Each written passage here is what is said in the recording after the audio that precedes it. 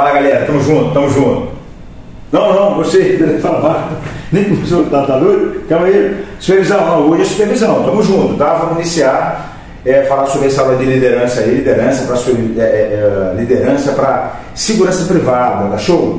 Bom, quando a gente fala de liderança, está falando de direitos humanos, de gestão de pessoas. O líder, ele tem a característica de liderar pessoas. E se eu vou liderar pessoas, preste atenção eu vou trabalhar com o mundo plural. Preste atenção, professor. Então, estamos juntos.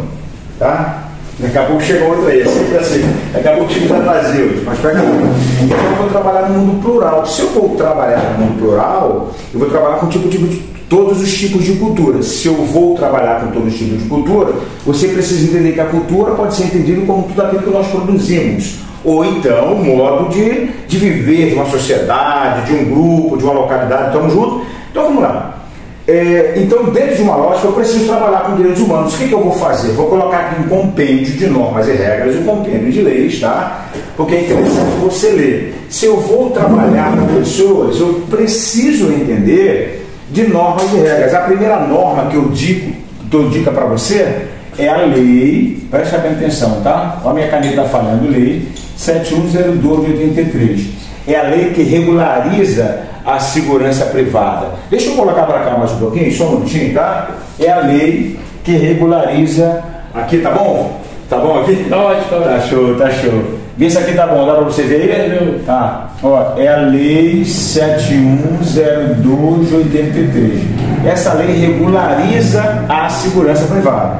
Depois dela nós temos a portaria, portaria 3233 de 2012 Preste atenção, a lei cria, tá? A lei cria e a portaria diz como fazer. Então, a lei tem aproximadamente cinco páginas que você tem que ler, tá? O supervisor tem que ler a, a lei, tá? Para que ele possa ter condições de discutir com o vigilante.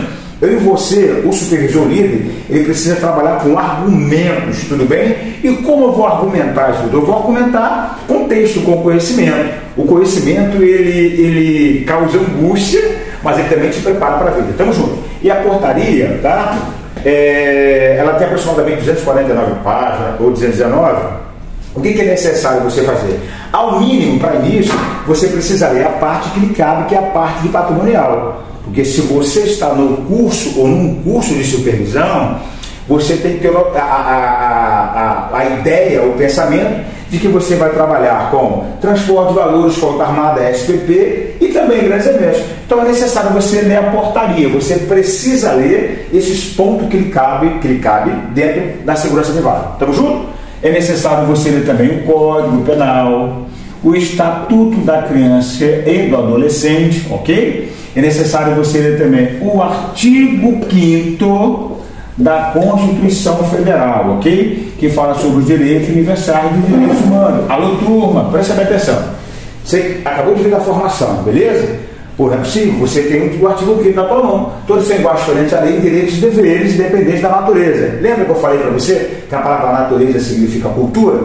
Então preciso trabalhar dentro do arquétipo, dentro do, do, do contexto de direitos humanos. Tá show? Você sabe disso aqui. Você acabou de sair agora da formação, tá? Tamo junto. Para você que é, tá vendo agora de outro setor, tá? Não pertence à segurança privada, tem que ler o artigo 5 Tamo junto, tá? Preste atenção, rapidamente, que eu falei para você ainda há pouco que nós vivemos no mundo plural. E se nós vivemos no mundo plural, esse, esse universo hoje da sociedade trabalha com o quê?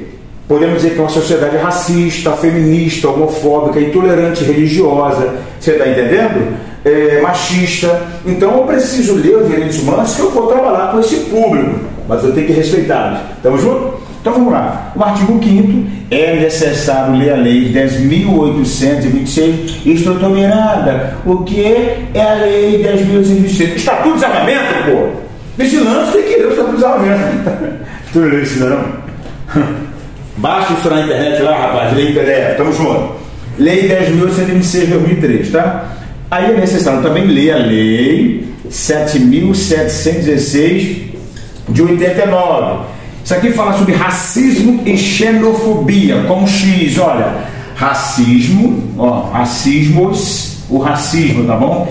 E xenofobia. Estou mirando o que é, que é xenofobia? Xenofobia, estrangeirismos, tá bom? Fala alemão, fala argentino, fala brasileiro. É isso aí, tá? Tem que ler, tá? Se você vai trabalhar num estádio, tá? Presta atenção. Tamo junto? Olha, outra lei importante, tá? Lei, presta atenção, tá? 6.717 de 2014. É uma lei estadual, presta atenção, tá? Essa lei estadual, ela fala ou aborda, tá? Sobre as questões de. Uh, deixa eu lembrar aqui, calma, rapaz. Estabelecimentos comerciais públicos e ou privados, nenhum cidadão pode entrar com cobertura. Então, esse vigilante, esse supervisor com este conhecimento, ele inibe o conflito ou a crise, porque eu vou chegar no cidadão com a norma se eu chego com a norma, com a lei, eu aviso para esse cidadão que tem uma lei estadual que obriga esse cidadão a tirar a cobertura, capacete, boné, é, balaclava, né, aquelas toucas né, de motoqueiro, tem que tirar, não pode, estamos juntos? Mas tem que pedir na educação, tá? Como ética, estamos juntos.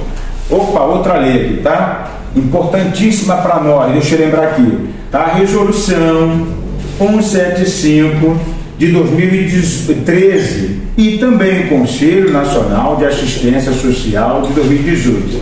Isso aqui é muito importante para a sociedade atual quando nós falamos sobre esses caracteres aí, com essas características de é, homossexualidade, tá bom? Cuidado com termos que vocês usam para o cidadão homossexual. Estamos juntos? Essa resolução 175-2013, ela aborda que a partir dessa data, qualquer cidadão brasileiro pode contrair, tá? Contrair um matrimônio com pessoas do mesmo sexo.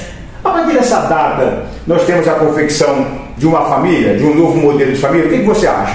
A partir de 2013, temos ou não temos, tá?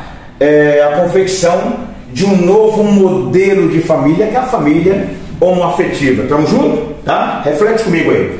E através desse Conselho Nacional da Assistência Social, que eu chamo de CNAS, tá? 2018, acho que o artigo 4 vai dizer que a partir dessa data qualquer cidadão brasileiro, tá bom? Tá? É, ele pode ir no cartório, tá? E o oficial do cartório, a pessoa que trabalha no cartório, ela não pode impedir, estamos juntos?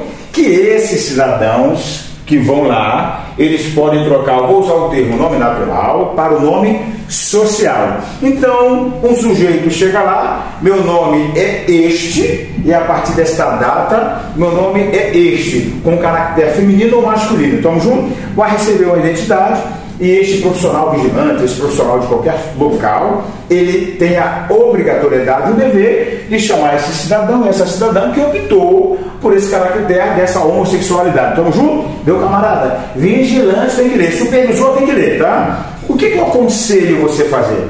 Pegar todas essas normas e regras, talvez eu esteja esquecendo demais aqui, acabei de lembrar. Olha que sensacional, lei 10.340 de 2006. Fala comigo, por favor, que lei é essa? Fala assim, Lei Mary Penha. É claro que eu estou brincando, tá? Lei Maria da Penha. Tem que ler, tá? Você precisa ler essas normas e essas regras, tá bom? Tamo junto? Para que esse supervisor possa anelar essas características quando uma funcionária, tá, uma vigilante feminino, ela for é, pedir auxílio, falar alguma coisa, tá? Falar algo, eu não gosto de usar a palavra coisa, fica uma coisa muito é, é, é, superficial, tá? Dentro disso aqui, já que nós estamos falando disso, esse supervisor, eu oriento ele a praticar a escutatória Escritor Miranda, o que é o escutatória? É uma fala sensacional, é de Rubem Alves. Rubem Alves é um pedagogo, um cronista, um teólogo, professor, eu acho que ele era pastor também, tá? Ele faleceu em 2014, tudo bem? E o que acontece? Ele dizia, na fala dele sensacional, que eu bebo na fonte dele, que criou-se muitos cursos de oratória, ok? Mas é necessário é, criar ou praticar a escutatória que é a arte de ouvir. Tudo bem? Então o supervisor ele precisa aprender a ouvir. Por favor, cuidado com os diagnósticos pré.